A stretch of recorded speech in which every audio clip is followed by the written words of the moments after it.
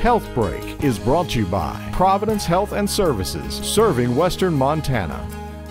The International Heart Institute of Montana is comprised of a group of professionals who are dedicated to improving patient care through research and education. One of these professionals is research scientist Dr. Ryan Mays, who specializes in peripheral artery disease, known as PAD. We're performing two NIH funded studies where we are implementing community based exercise programs uh, to treat the leg pain that patients feel when they walk. Current practice states that patients are to do this type of program where they walk, rest, walk, rest, and continue for a predefined period of time, but they're only provided that advice. And so we're trying to develop a hybrid program where we bring the supervision to patients, where they receive training, monitoring, and coaching, much like they would receive in a supervised setting where programs are really optimal.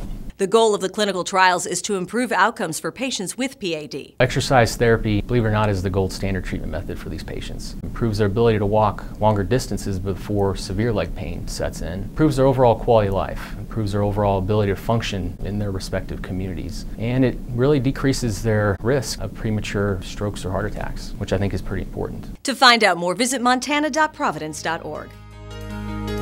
Health Break was brought to you by Providence Health and Services, serving Western Montana.